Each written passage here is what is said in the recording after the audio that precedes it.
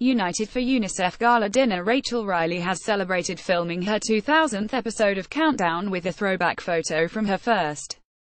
The TV star said most of her favorite moments as co-presenter of the daytime puzzle show are too rude to type.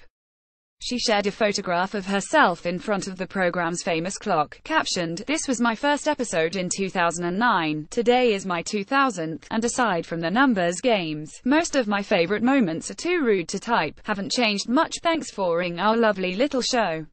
This was my first episode in 2009, today is my 2000th and aside from the Numbers games. Most of my favorite moments are too rude to type 5,535,756,861 haven't changed much thanks for ing our lovely little show Heart TBT Countdown Special 2000 Numbers Throwback Thursday Retro TVA post shared by Rachel Riley at Rachel Ryler on November 23, 2017 at 357 them PST she was treated to flowers and a cake on the set of the show to mark the day.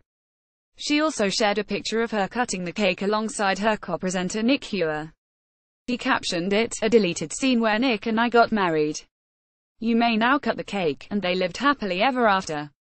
Thanks for spoiling me lovely team. 2000 more now please. A deleted scene where Nick and I got married. 5,535,756,834 You may now cut the cake and they lived happily ever after 55 quintillion 357 quadrillion 564 trillion 325 billion 535 million 657,340 Thanks for spoiling me lovely team. 2000 more now please. Countdown anniversary 2000 TV cake flowers a post shared by Rachel Riley at Rachel Ryler on November 23, 2017 at 707 then PST Riley took over the role from Carol Vorderman, who served as the maths whiz on the program from 1982 to 2008.